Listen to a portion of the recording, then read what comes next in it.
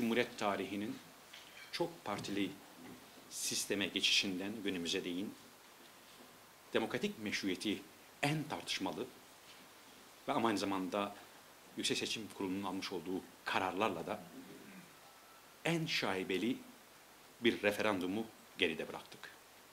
Bugün partim adına, Merkez Yürütme Kurulu adına gerek paketin içeriğine dair ve gerekse bir bütün olarak referandum sürecinde yaşamış olduğumuz ihlal alanlarına dair bu paketi hem içeriksel ama aynı zamanda şekli açıdan, usul açısından şahibeli kılan bütün gelişmelere dair e, raporumuzu siz kamuoyuyla paylaşmak üzere bir arada bulunuyoruz.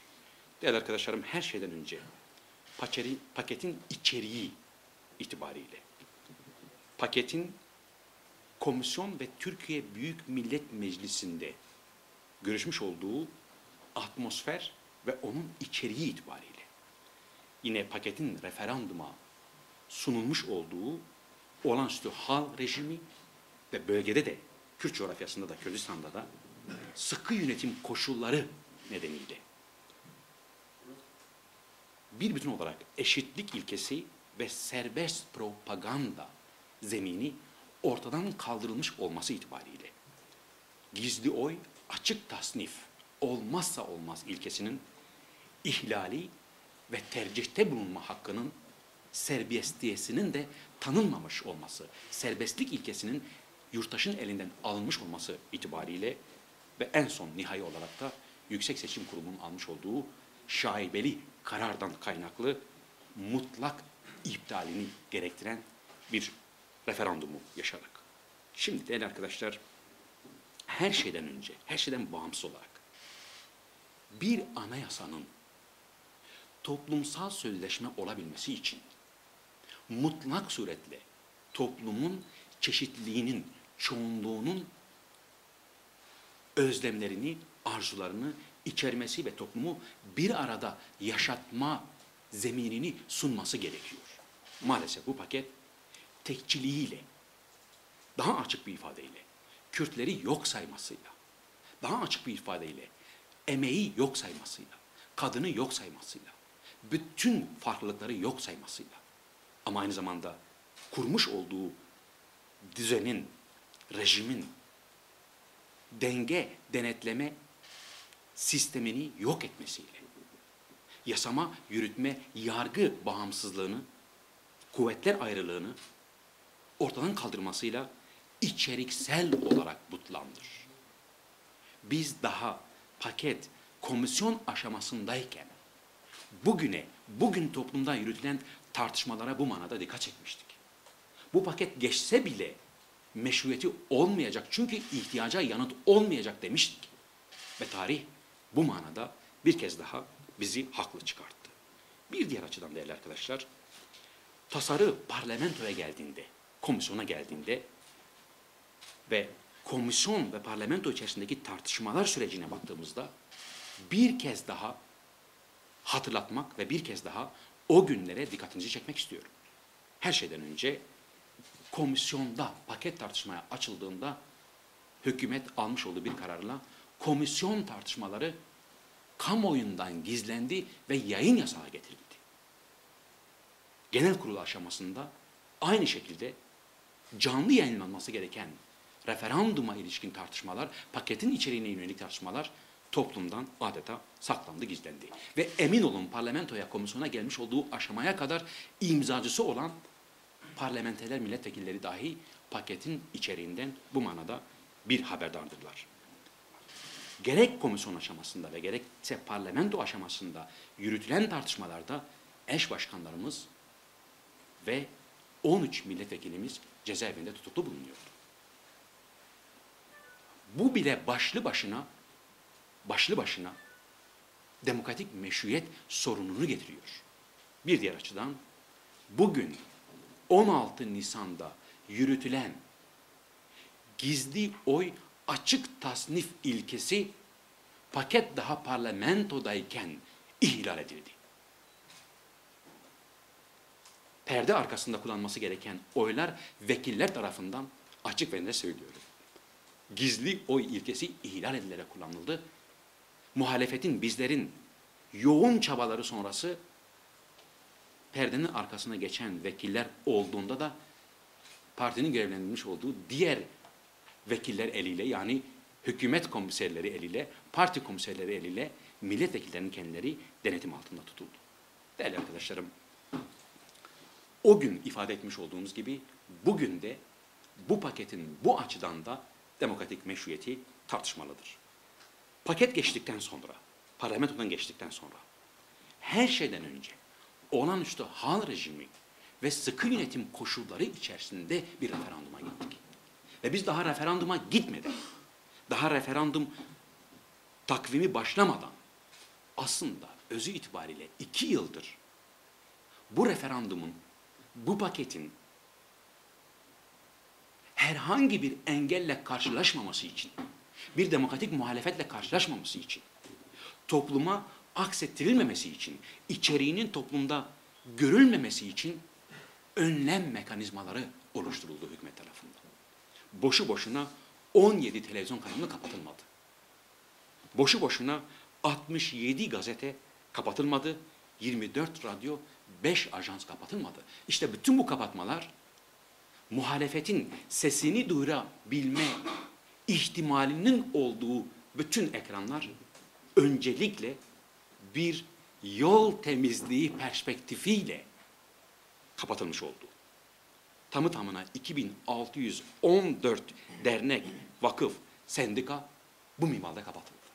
Böylelikle toplumun kılcal damarlarına gidebilecek bir muhalefetin sesi önceden ortadan kaldırılmış oldu. Değerli arkadaşlarım, Temmuz 2015'ten bugüne değin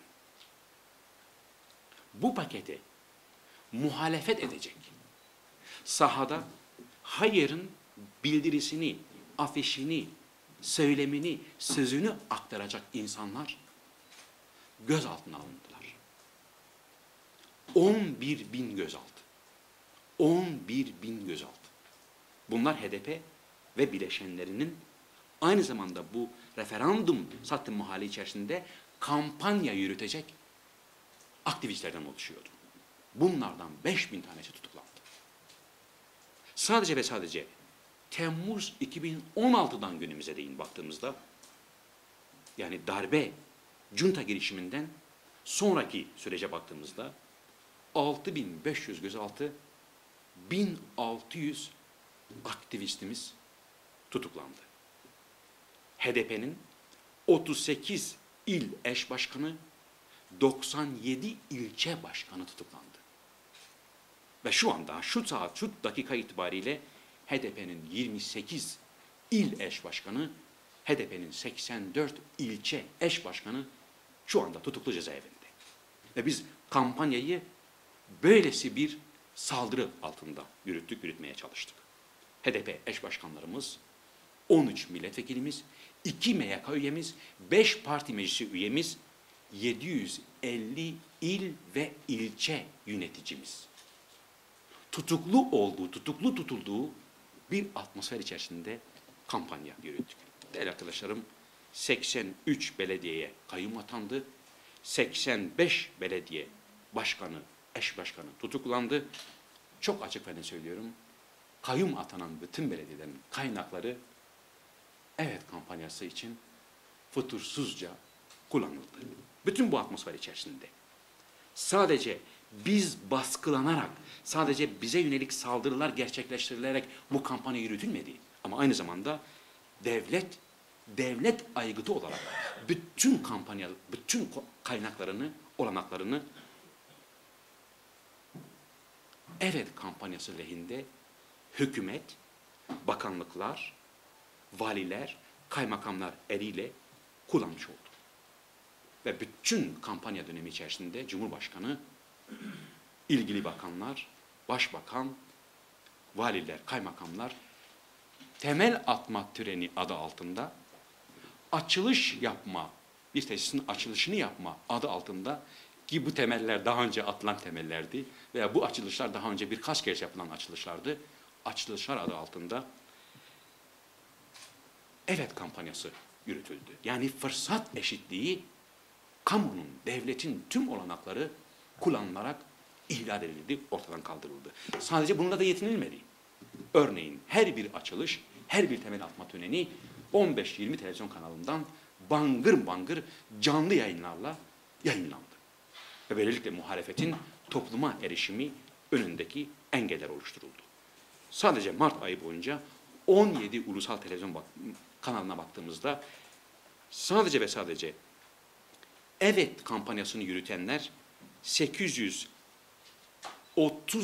saati aşkın bir propaganda, canlı yayınlarda propaganda yapma imkanına sahip oldular. İşte bu zaman dilimi içerisinde bize düşen 17 televizyon kanalında bize düşen ise sadece ve sadece 58 dakika oldu. Daha vahim bir tablo var. TRT. TRT 80 milyon yurttaşın ya da daha açık bir ifadeyle 55 milyon seçmenin vergisiyle ayakta duran bir kamu kuruluşudur. Her siyasi partiye yani evette de hayır'a da eşit mesafede durması gereken bir yayın kuruluşudur. Böyle bir yayın kuruluşu olması gerekmesine rağmen toplama baktığımızda çok daha vahim bir tabloyla karşı karşıya kaldığımızı görüyoruz. Neredeyse ama neredeyse bütün yayın, canlı yayın politikasına baktığımızda 6625 dakika evet kampanyasına ayrılmış. HDP'nin TRT'de kendisini ifade ettiği zaman dilimi itibariyle sıfır dakikadır. Sıfır dakika HDP kendisini ifade edebilmiştir. Bu bile başlı başına nasıl bir demokratik meşruiyet sorunuyla karşı karşıya olduğumuzun göstergesidir. Tabii ki bu yayınları ve bu yayın politikasındaki adaletsizliği, tarafgirliği sadece ve sadece HDP'nin kendisini ifade edemeyişi olarak da değerlendiremeyiz. Hükümet, Cumhurbaşkanlığı, danışmanları ve Evet cephesinin tamamı yürütmüş olduğu bütün kampanyada HDP adeta bir siyasi hedef haline dönüştürülmüştür. Bir linç kampanyası yürütülmüştür. Bütün ulusal televizyon kanallarında ve TRT'de HDP'ye yöneltilen suçlamaların tek bir tane HDP'nin kendisini savunma hakkı, yanıt verme hakkı dahi tanınmamış, engellenmiştir. Bu açıdan da çok vahim bir tabloyla karşı karşıyayız. Doğrusunu söylemek gerekirse bütün bu anti propagandalar, bütün bu yayın politikaları, bütün bu ötekileştirmeler, bütün bu olduğundan farklı göstermeler haritaya baktığımızda yine arzulanan sonucu kendilerine sunmamıştır. Şimdi mesele sadece 16 Nisan gününe geldiğimizde 16 Nisan gününe kadar ki 85 günün bilançosuna baktığımızda çok daha vahim bir tabloyla karşı karşıya kalıyoruz. Şu ana kadar vermiş olduğum veriler bir ön alma, ön kesme verileriyken şu anda vereceğim veriler ise tamı tamına elinde bildiriyi almış kampanya yürütecek. Miting organize edecek. Halk buluşması organize edecek. Milletvekilini karşılayacak. Yani hayır kampanyasının aktivistlerinden bahsediyorum. 2165 HDP'li, HDP ve HDP bileşeni gözaltına alındı. Günde ortalama 29 kişi gözaltına alındı. Günde ortalama 5 kişi tutuklandı. Yani 429 insan aktivistimiz bu vesileyle tutuklanmış oldu. 151 kişi aktivistimiz fiziki saldırıya maruz kaldı. Ve her bir fiziki saldırı kendi ihtiyarlandığında başka bir tesir gücü yarattı. Her bir tutuklama kendi ihtiyarlandığında başka aktivistlerin de tutuklanacağı korkusunu yayma amacıyla yapıldı. Her bir gözaltı siz siz olun ha eğer hayır kampanyası içerisine katılırsanız başınıza bunlar gelir tehdidinin tabiri caizse dışa vurumuydu. Bütün bunlarla birlikte değerli arkadaşlar yürütmüş olduğumuz mitinglerde halk buluşmalarında Ben kendim dahil mitingime ulaşma, mitingimin sahnesine ulaşmada sorunlarla karşılaştım. Vekiller kampanyayı yürütürken gözaltına alındılar. Örneğin Yüksekova ilçesinde, Hakkari'nin Yüksekova ilçesinde düzenlemiş olduğumuz mitinge miting alanı değiştirildi. Kentin 5 kilometre uzağındaki bir yerleşim birimine verildi. Ve o gün toplu taşım araçlarının kontağı toplu taşım sürücülerinden alındı. Amaç yurttaş yürüyerek gelsin veya amaç yurttaş mitinge gele, gelemesin. Buluşma gerçekleşmesin. Değerli basın mensupları, yurttaşlar bizzati kimi yerde kaymakamlar eliyle, kimi yerde valiler eliyle, yani kamu otoriteleri eliyle, rızkıyla, işiyle, aşıyla tehdit edildi. Bir örnek vereyim size. Örneğin Urfa'nın Halfeti ilçesinde ilgili kaymakam ya da ilgili yetkili veya Şırnak'ta veya Muş'ta yetkili çağırıyor muhtarı. Muhtar diyor, senin 1 Kasım'da köyünden çıkan oy bu. 7 Haziran'da çıkan oy bu. Biz araştırdık senin kızın öğretmen. İnşallah başına bir şey gelmez. İnşallah bir kanun hükmünde kararname içerisinde yerini almaz. Kimi yerde açık açık kaymakamlar muhtarlarla toplantı yaptı ve dedi ki bakın hayır demek devlet karşıtlığı demektir. Hayır demek devlet düşmanlığı demektir. İşte böylesi bir ihlal alanında bir futursuzlukla karşı karşıya kaldık. Hatta ve hatta kimi yerlerde kaymakamlar, valiler ya da ilgili jandarma komutanları hayvanlarınız meraya çıkamayacak tehdidi, tehdidinden bulundular. Bütün bunlar raporun içerisinde bulabileceğiniz hususlar. Değerli basın mensupları, seçim şarkımız Bejinna yasaklandı. Bejinna yasaklandı ama yine bir kez daha bu halk bütün bu zulümlere na demeyi, hayır demeyi, la demeyi, ne demeyi doğrusunu söylemek gerekirse başardı. Bu vesileyle ben bir kez daha bu halka müteşekkir olduğumu ifade etmek istiyorum. Değerli basın mensupları, hakikaten her şeyin bir bir edebi vardır. Bir ahlakı vardır. Bir siyasi parti, mecliste üçüncü büyüklükte olan bir siyasi partinin eş genel başkanının posteri yasaklandı, posteri. Biz mitinglerimize, billboardlara eş genel başkanımızın posterini asamadık. Posterler yırtıldı, el konuldu. Bir diğer husus, olağanüstü hal gerekçe gösterilerek Urfa, Hakkari, Van gibi pek çok şehirde, örneğin 10 Mart'la 8 Nisan arası bütün basın toplantıları, gösteriler, yürüyüşler, mitingler yasaklanmıştır. Otomatikmen kararı alındı. Ve bu karar doğrultusunda yerel sahada bulunan il ve ilçe teşkilatlarımız aktivite içerisine girdiklerinde gözaltına alındılar. Kimileri tutuklandı. Gerekçe olağanüstü hal yasasına aykırılık. Oysa referandum atmosferi içerisindeyiz. Her siyasi parti seçmenine ulaşma, her siyasi parti halka ulaşma ve açıkçası söylemek gerekirse kendi tercihi doğrultusunda propaganda yapma hakkına hani sahipti. Ne diyordu Sayın Başbakan? Biz bütün muhalefete serbest propaganda hakkı tanıdık. Valla ortada bir bir tezatlık var, ortada bir çelişki var.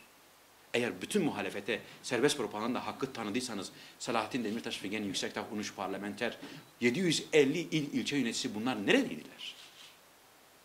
Bu büyük bir manipülasyonun, büyük bir yalanın aynı zamanda dışa vurumudur. Değerli arkadaşlarım, birçok ilde 140 sandık başkanı adayımız kötü önü var gerekçesiyle sandık kurulundan düşürüldüler. Ön beğendiremedik hükümeti. Çok açık ve ne söylüyorum. Şu anda en büyük, en vahim kötü ön bu hükümetindir. Cumhuriyet tarihinin çok partili rejime geçişin gününden bugüne değin en şaibeli seçime imza atmak suretiyle tarihe evrenden daha kötü bir öne sahip olarak geçeceklerdir. İnancımı bir kez daha sizlerle paylaşmak istiyorum. İlçe seçim kurulu üyelerimize bu iş büyük bir sorumluluktur. Bu işin büyük cezaları var. Sorumluluğu siz alacaksınız. Bakın başınız belaya girecek denilerek kurum üyelerimizin açıkçası görev almaları tehdit etme suretiyle de bertaraf edildi. Bu dayatmalar ve bu tehditler sonrası 2200 adayımız kuraya girmeden önce reddedildiler. 2200 adayımız. Değerli basın mensupları son bir veriyi daha paylaşacağım sizinle. Çok çok zamanınızı almayayım. 8 Mart Nevroz 8 Mart Nevroz ve 15 Şubat. Yani aynı zamanda kampanyanın yürütülmüş olduğu, yoğun olarak yürütülmüş olduğu aylar. Bu aylarda operasyon adı altında 1092 kişi gözaltına alındı. 203 kişi tutuklandı. Bu gözaltına alınanların ve bu tutuklananların tamamı kampanyayı yürütecek olan arkadaşlarımızdı. Şimdi esas gelelim bütün bu baskı rejimi, sıkı yönetim, olağanüstü hal koşullarının yanı sıra 16 Nisan günü neler yaşandı? Bir de onlara bakalım. Gizli oy, açık sayım ilkesi yerle bir edildi. HDP müşahitleri pek çok sandıkta sandığın başına erişimi engellendi. Köye sokulmadı köye. Darp edilerek köyden uzaklaştırıldı. Kadınlar yerine oy kullanıldı. Yani kadın nüfusunun sandık başına gidip oyunun kullanması engellendi. Onun yerine kimi yerde muhtar eliyle, kimi yerde aile reisi eliyle, kimi yerde kardeşi eliyle kadınlara oy kullanma hakkı tanınmadı bu seçimde. Bütün bunları raporumuz içerisinde ayrıntılarıyla görme imkanına sahibiz. Neredeyse neredeyse 3 milyon oyun kullanılmış olduğu Avrupa'da Yüksek Seçim Kurulu'nun almış olduğu kararla HDP'nin müşahitlerinin ve sandık kurulu üyelerinin oy kullanma işlemine nezaret etmesi sandıkların kurulmasına ve işlemin gerçekleşmeye nezaret edilmesi engellendi, önü kapatıldı. Bu da yine şaibelerin en büyüklerinden bir tanesine tekabül ediyor, bir tanesine işaret ediyor.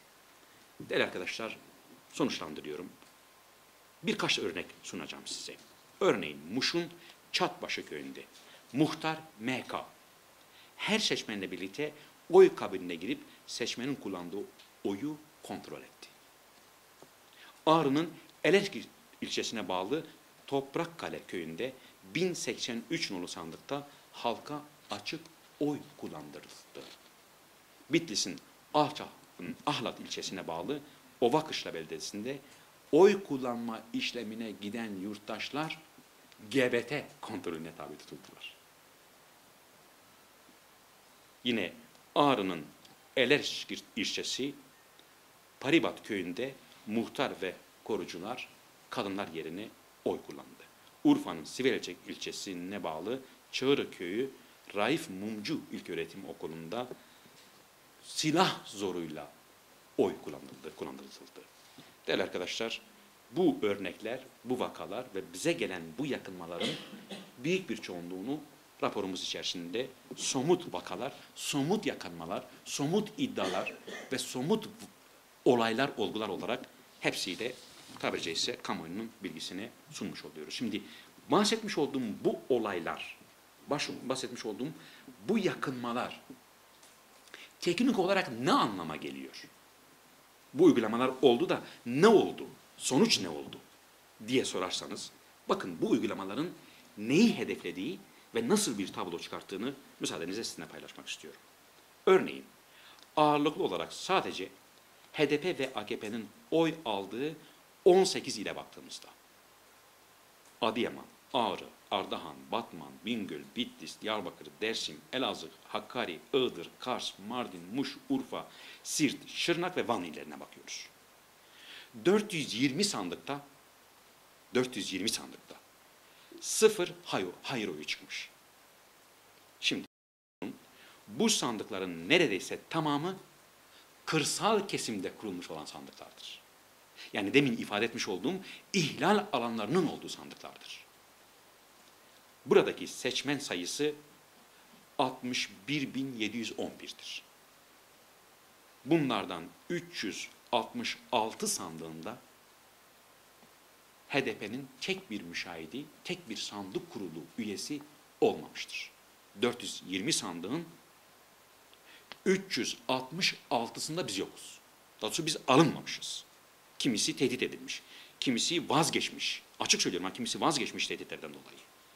Kimisi darp edilmiş. Bir diğer husus, yine bu illerde 1118 sandıkta evet oy oranı yüzde 90'ın üzerindedir. Buradaki seçmen sayısı ise 237 bine tekabül ediyor. Yani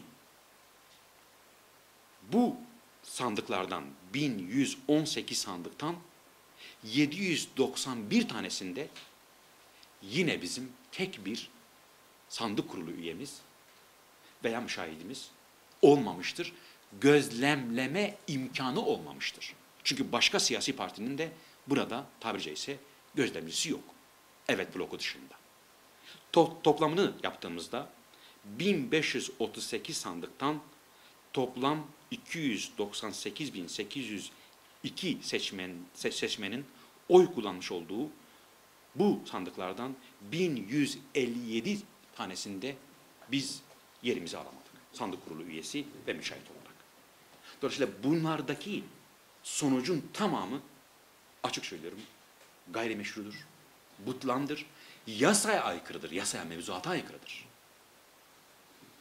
Değerli basın mensupları, daha önce ifade etmiştik, daha önce paylaşmıştık. Şu fotoğraf raporumuzun aynı zamanda özetidir. Muş Hasköy'deki fotoğraf. Raporumuzun ihlal alanlarının özetidir. Bu fotoğrafta bizim orada çekmiş olduğumuz bir fotoğraf değil. Söz konusu şahsın kendisinin kendisine ait olan sosyal paylaşım sitesinde çekmiş olduğu bir fotoğraftır.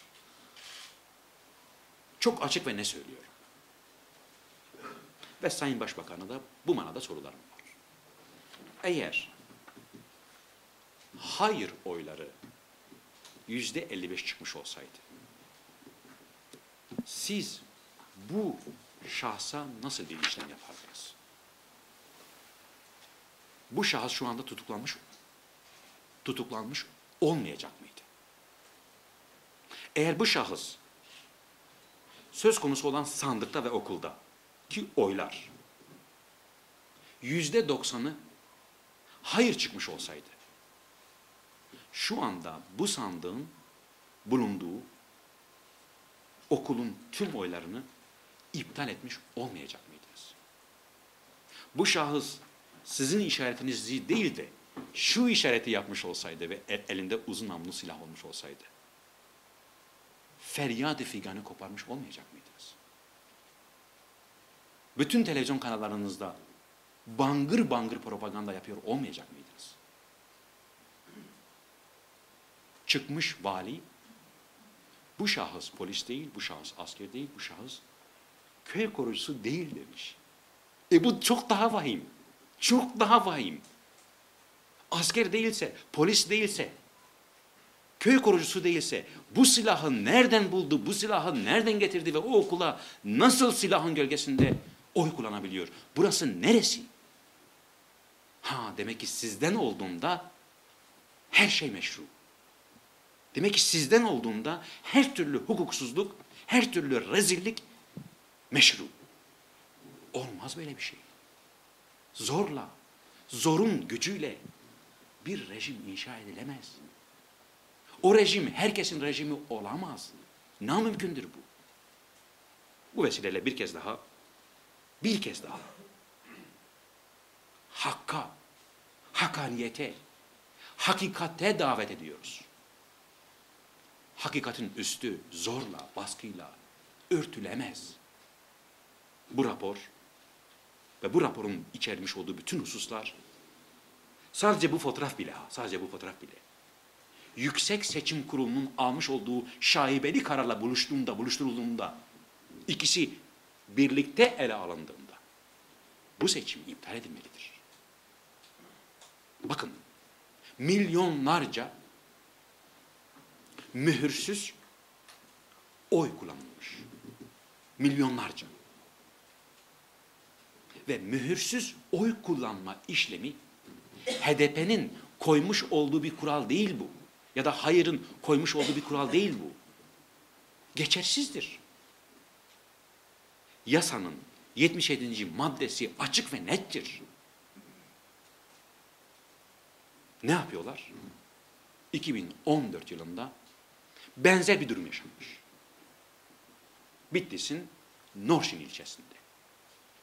AKP haklı olarak itiraz etmiş. Altını çizerek söylüyorum. 2014 Mart seçimlerinde Norşin'de mühürsüz oy pusulası kullanılmış. Haklı olarak itiraz etmiş. Ve Yüksek Seçim Kurulu Norşin'in Türkçe adı Göroymak'tır. Göroymak'taki Norşin'deki seçimi iptal etmiş. Ve 1 Haziran'da seçim yenilenmiş.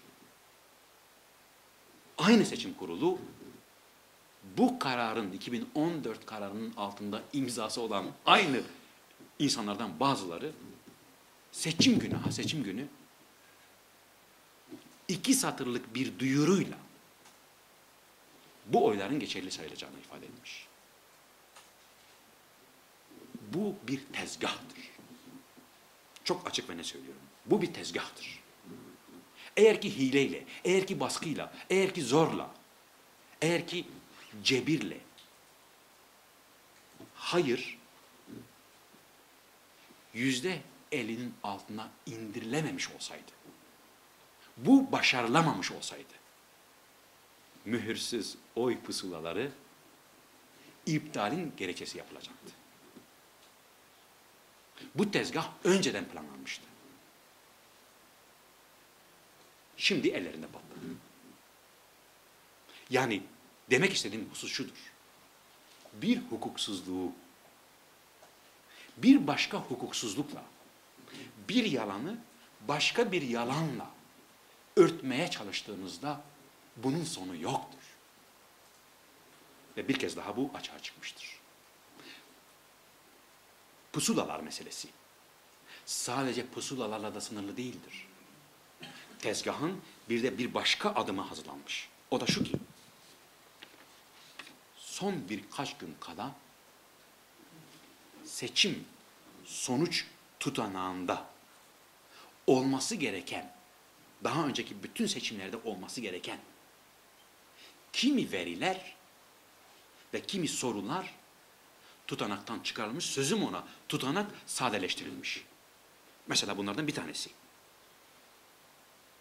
Seçim kurulundan kaç tane zarf alınmış, kaç tane oy pusulası alınmış, tutanaktan çıkarılmış.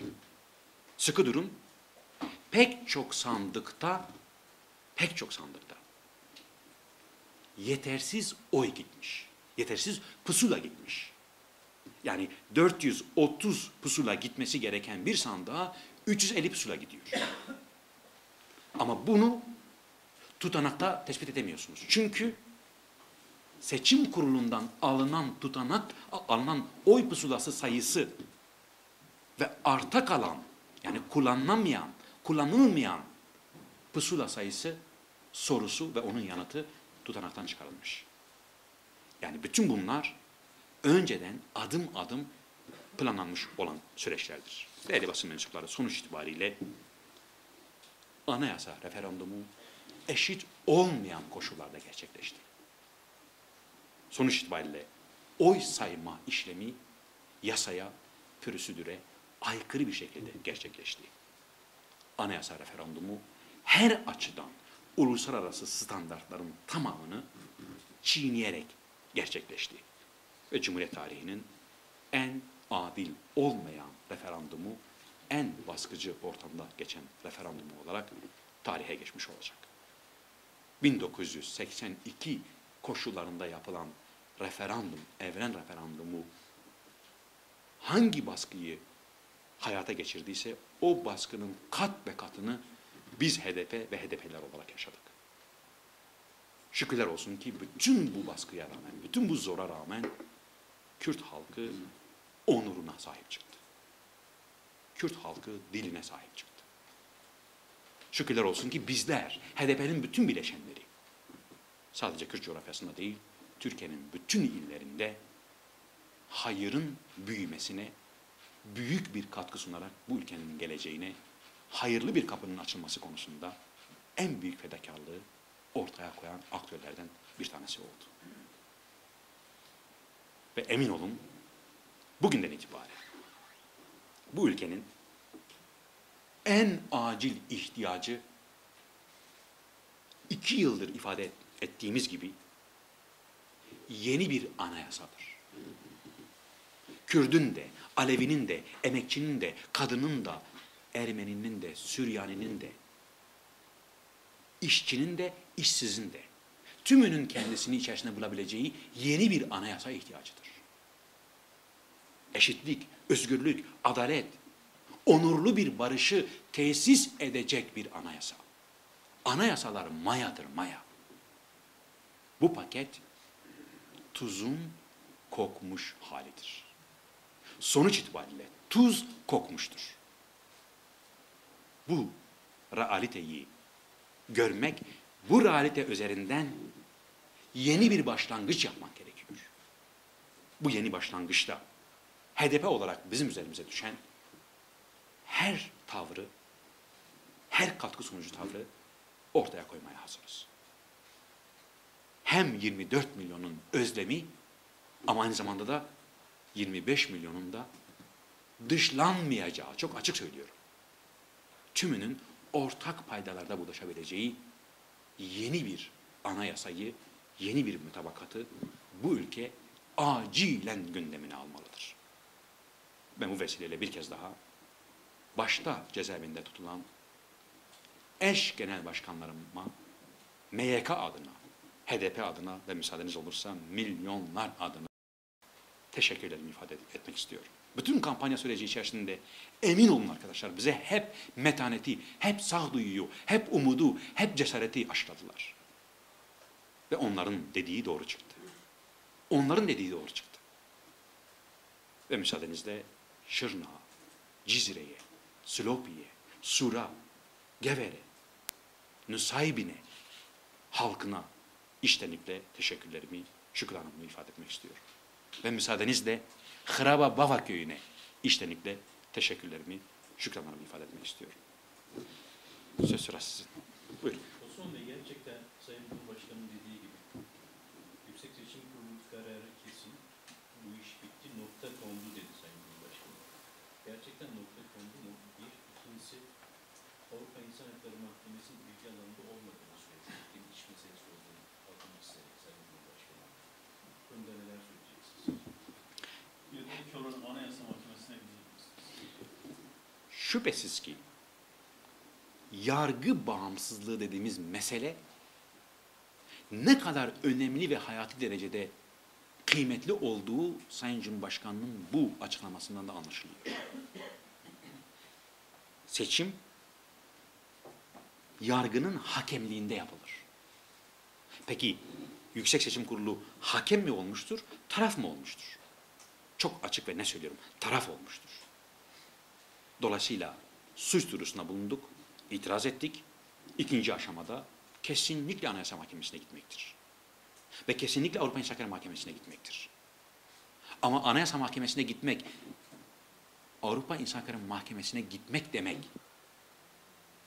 etkin bir sonuç alınacaktır anlamına da gelmiyor. Bugüne kadar yaşadıklarımız ortadadır. Kayıtlara geçmesi açısından, tarihe not düşmesi açısından, itirazımızın hukuki zeminde sunulmuş olduğunu da göstermek açısından bu mekanizmalara gideceğiz. Ama ben bir kez daha söylüyorum. Sayın Cumhurbaşkanı, hiçbir şey bitmedi, her şey yeni başlıyor. Çünkü bu ülkenin farklılıklarını nereye koyacaksınız? 24 milyonu nereye koyacaksınız? 24 milyonun özlemini nereye koyacaksınız? Kürt halkının haklı davasını, haklı talebini nereye koyacaksınız? Oldu, bitti, her şey toz pembe mi diyeceksiniz? Bu ülkede toz pembe değil ki. 70 yıldır, 80 yıldır bu ülke kendi içerisinde neden hiç barışı yaşamadı? Bu ülke neden demokrasisini ilerlemedi? Bu ülkede halen canlar niye toprağa düşüyor? Red ve inkar. Red, inkar, isyan. Bu paket, bu düzenleme red, inkar, isyan kısır döngüsünün devamı anlamına geliyor. Redden, inkardan ve isyandan çıkabilmemizin yegane yolu dönüş dönüp bu tabloyu etkin bir şekilde bir kez daha okumaktır. Biz de okuyalım, siz de okuyun. Ve yeni bir çıkışa, yeni bir bakış açısı bu ülkenin iktidarının, muhalefetinin, her kesiminin 24 milyonun ve 25 milyonun tümünün ihtiyacı vardır diye düşünüyorum. Buyurun.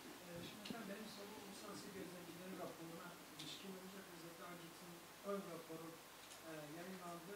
Nihai raporun 8 hafta sonra çıkacağı sosyal medyada özellikle şöyle bir eleştiri var. Yani AGİT'in ve özellikle bazı Avrupa ülkelerinin yani birçok ihlali tespit etmiş olmasına rağmen özellikle Türkiye ile olan ekonomik, siyasi, bürokratik ilişkilerinden dolayı çok da bu raporların suya sabuna dokunmadığını e, dair bir takım eleştiriler var. Siz AGİT'in özellikle ve Avrupa'nın yaklaşımını nasıl?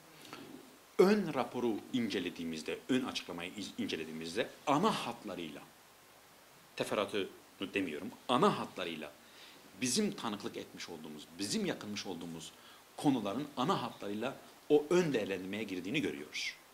Ancak şüphesiz ki bütün teferruatlar e, ana rapora sirayet eder mi, etmez mi onu önümüzdeki günlerde görmüş olacağız. Her şeyden önce AGİT mekanizması, AB mekanizması, Avrupa Yerel Yönetimler Kongresi, e, bütün komisyonlar, Türkiye'nin içerisinde yer almış olduğu ve hatta kimi yerde işleyişine finansal destek sunmuş olduğu mekanizmalardır. Bu finansal mekanizmayı sunacaksınız, içerisinde yer alacaksınız, yeri ve zamanı geldiğinde bundan istifade edeceksiniz ama siz eleştirildiğinizde bu mekanizmayı tanımayacaksınız. Yani size destek olduklarında, sizi iktidara taşımak için çaba sarf ettiklerinde, sizi partner olarak gördüklerinde, sizi Türkiye'nin değişiminin rol modeli olarak dünyaya yansıttıklarında Avrupa kurumları, onları seveceksiniz, onlar iyi olacak. Siz hata yaptığınızda, zulüm ettiğinizde, hırsızlık yaptığınızda, şaibe kattığınızda, hukuku tanımadığınızda, sizi eleştirdiklerinde, efendim biz bunları tanımıyoruz diyeceksiniz. Kusura bakmayın valla bunun hiçbir kıymeti harbiyesi yok. Hiçbir kıymeti harbiyesi yok. Bu manadaki eleştirilere, haklı eleştirilere kulağınızı tıkadığınız oranda tabiri caizse gerilemeye, itibarsızlaşmaya da dünyada devam edeceksiniz. Bakın, hayati derecede bir referandum, hakikaten hayati derecede bir referandum. Ve referandumun sonucu kaç ülke lideri aradı, memnuniyetini ifade etti ve veya kutladı. Arayanlar kimler? Ben küçümsemek anlamında söylemiyorum ama bir bir bir bir realiteyi görmemiz aslında söylüyorum. Bahreyn, Cibutu, Azerbaycan. Peki nerede? Nerede hani bütün Orta Doğu coğrafyasına rol model olacak ülke hayali, demokrasi modeli olacak ülke hayali nerede? İşte bütün bunlar bir kez daha bu girdaptan bir an önce çıkmamız gerektiğinin de aynı zamanda delaleti göstergesidir. Ben bir kez daha söylüyorum. Son siyasi mesajımdır bu. Son iki yıldır hükümet şer cephesiyle iç ve dış düşmanlıkla içeride düşman var, dışarıda düşman var. Yani hükümetin politikalarını eleştiren herkes ister içeride olsun ister dışarıda olsun düşmandır kodlamasıyla hareket ediyor. Ve iki yıldır şer cephesiyle bu ülkeyi idare etmeye çalışıyor. Krizle, kaos yönetimiyle idare etmeye çalışıyor. Ve bu şer cephesinin toplamdaki önceki seçimlerle mukayese ettiğimizde karşılığı yüzde 67'lerdedir. Peki bu referandumda ne olmuştur? Bütün baskı, bütün cebir, bütün zorlama, bütün hilelere, bütün eşsiz koşullara rağmen ancak ve ancak yüzde 51'e çıkarılabilmiştir. Yani şer cephesi bu ülkeye kaybettirmiştir. Şer koalisyonu AKP'ye de kaybettirmiştir. Çok açık söylüyorum ha. Bu büyük bir erimenin ifadesidir. Bunu görüp kuruluş felsefesine geri dönme varken tam tersine Avrupa ile düşmanlık yerine rotayı bir kez daha Avrupa Birliği'ne bir- birliğiyle entegrasyona dahil olmaya çevirmek varken bu düşmanlık içeride ve dışarıda politikası bu ülkeye kaybettirmeye devam edecektir. Öncelikle teknik bir şey soracağım. Bazı sandıklardan bahsettiniz. HDP müşahitlerinin olmadığı ya da olamadığı. Orada CHP'nin de mi yoktu? Sadece evet cephesinin müşahitleri vardı? bahsetmiş olduğumuz sandıkların büyük bir çoğunluğu, hatta büyük bir çoğunluğu değil, neredeyse neredeyse büyük evet neredeyse büyük bir çoğunluğu e, toplamda 18 ile ait olan sandıklardır. Bu 18 ile baktığımızda HDP ve AKP'nin geçmiş seçimleri itibariyle söylüyorum. Yüzde 98 oranında HDP ve AKP'nin oy almış olduğu illerdir. Bunun bir tek istisnası var Dersim. Diğer bütün illerde bahsetmiş olduğunuz Cumhuriyet Halk Partisi'nin de müşahitlerinin olmadığı sandıklardır. Olmadı, CHP'nin de olmadığı sandıklardır. Dolayısıyla hayır cephesinden ya da hayırı savunacak, hayırın hakkını savunacak, gözlemleyecek müşahidin ve sandık kurulu üyesinin olmadığı sandıklardır. Dolayısıyla buralarda biz olmadığımız için oy kullanma işlemi, oy sayım işlemi, mevzuat, kanun, hak, hukuk hiçbir tanesi gözlemlenmemiştir. Ve bu sayı, bu sayı bir önceki seçimlerle mukayese ettiğimizde, örneğin 2015 Kasım, hatta benim kendimin bizzat aday olmuş olduğu 2014 Mart seçimleri, Urfa iliyle mukayese ettiğimizde, o günden bugüne ki değişime baktığımızda neredeyse Urfa'da bu tür kırsal kesimlerde müşahitlerimizin ve sandık kurulu üyelerimizin köye dahi giriş yapamadığı sayıda yüzde 50 oranında bir artış olmuştur. İkinci sorum da efendim, hayır cephesinde ister HDP ister CHP ya da diğer partiler olsun, o seçmenlerde büyük bir hayal kırıklığı ve güvensizlik yaşanıyor seçim sistemine yönelik olarak. Örnek olarak da 7 Haziran'ı gösteriyorlar, orada işte bir şekilde ikinci kez seçimi AKP'nin yenilediğinden bahsediliyor. Bunda şaibe iddiaları var ve e, artık e, parlamento zemininde çok da bir şey yapılamayacağı, genel seçimlerde çok da bir şey yapılamayacağı ve elde edilemeyeceğine dair bir inanış var giderek artan. Ee, CHP belki de meclisten çekilmeyi, sini millete dönmeyi, tartışmayı değerlendiriyor. HDP için böyle bir şey söz konusu olabilir mi? Eş başkanları da hapisteyken, 14 milletvekili. HDP adına, Merkez Yürütme Kurulumuz adına, halkımızdan almış olduğumuz güç ve destekle ve teveccühle, miskali zerre kadar umutsuzluğa yer yok. Karamsarlığa yer yok. Miskali zerre kadar ya da zerre-i miskal kadar umutsuzluk yok. Tam tersine umutlanmamız için yeteri miktarda milyonlar var bu ülkede. Milyonlar var artık bu ülkede. Yeter ki ortak paydalarda buluşabilelim. Yeter ki demokrasiyi herkes için, özgürlüğü herkes için, adaleti herkes için, insan onurunu herkes için savunabilecek bir noktada buluşabilelim. Yani Yani Yani biz bunu değerlendiriyoruz mu? Demek istiyorsun. Siz al- alabilirim sorunuzu.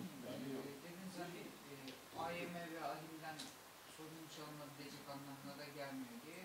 E, Eğer oradan sonuç alınamazsa başkanlık sistemi geçmiş oluyor ve önümüzdeki bir e, 2019 seçimi oluyor. Bugün HDP'li İmam Taşçıer de bir açıklama yaptı. Önümüzdeki seçimlerde koalisyon kaçınılmaz diye. Önümüzdeki seçimlerde hayır cephesi olarak CHP veya hazır mısınız? Bugün eş başkanlar kurulumuzu bir araya getiriyoruz. Yarın parti meclisimiz, parti meclisimizle bir araya geliyoruz. Bütün bu ihlal alanlarıyla birlikte seçimin açığa çıkarmış olduğu siyasi haritayı enine boyuna okuyacağız, irdeleyeceğiz ve mutlak suretle yeni bir yol haritası ortaya koyacağız. Ama ben ipuçlarını bir kez daha veriyorum. Bu ülkenin demokrasiye ihtiyacı var. Bu ülkede yaşayan halkların özgürlüğe ihtiyacı var ve özgürlük talebi var. Bu ülkede herkese adalete ihtiyacı var, adalete gereksinimi var. Çatışmasızlığa ve onurlu bir barışa ihtiyaç var. Gelin ihtiyacı olan herkes.